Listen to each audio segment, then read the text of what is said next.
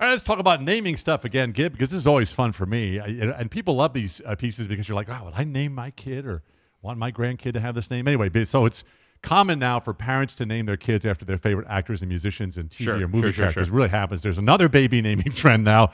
Uh, kids are being named, millions of kids are being named after cars, okay? Yeah. So more, more kids are being named Tesla.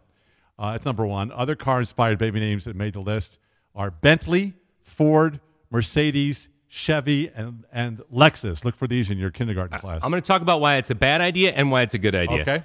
A good idea because of something called an aptonym. That's where when you uh, have a certain name, you're more likely to to be whatever that thing is. So if you have a name that makes it sound like you're an attorney, uh, then you're more likely to be an attorney. If you have a name that's like that makes it sound if you like uh, if your name is Cobbler Jones, you're more likely to be a cobbler. or You're more like- Smith, you're like blacksmith. right. yeah. So you, there, that's that's actually a, a statistical thing. You have you're more likely to do certain things if your name seems appropriate. Don't name thing. your kid Cobbler, please. Right, right, but whatever. I'm just saying. So these brands that you're naming are aspirational brands. So naming your kid that makes them more likely to to achieve what that brand represents. That that's a good side. The bad side is you when you name your kid, you got to think a, a couple things. One is what are the ways that they're going to get made fun of in elementary school?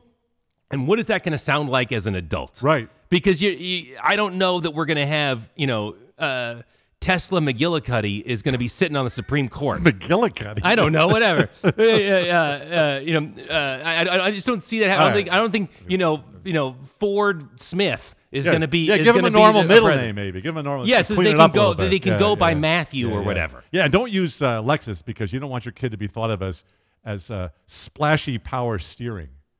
What? I think the Lexus has splashy power steering. Okay. Okay. Okay. Wait, what, what, what, what Norm Macdonald video did you watch before I we know, did this? it's Gib Gerard and John Tesh. And don't forget to like, subscribe, and hit that bell so you don't miss any of our daily life hacks.